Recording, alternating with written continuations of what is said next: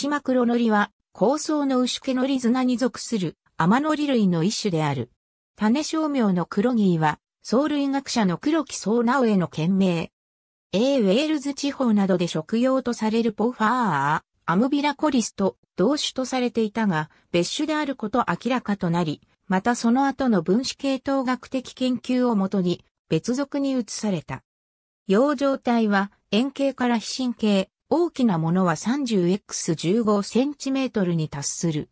色はやや赤みを帯びた褐色から高褐色。厚さは33-60メートル。円辺は前円でやや波打ち、顕微鏡的な挙手を書く。養生体は死有同種、メス部と有部が左右に分離している。不動精子が放出されると有部が脱落し、この方向に養生体が湾曲する。時に私有一種の個体も存在する。造成器は最大128個の不動精子を形成、受精した作りかきは16、または32個の下方子を形成する。下方子は発芽して、微小な糸状態となり、核胞子を形成して養生体に戻る。養生体は原胞子による無償生殖は行わない。染色体数は N イコール4。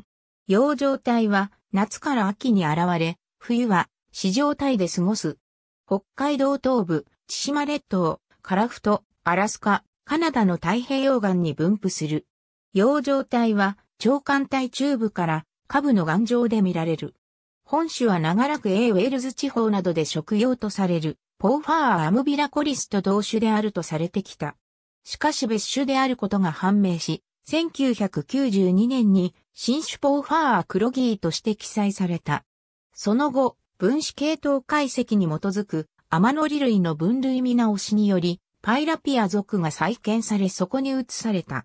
さらに2020年にパイラピア属を複数の属に分割することが提唱されたが、チシマクロノリは競技のパイラピア属に含まれることが示されている。ありがとうございます。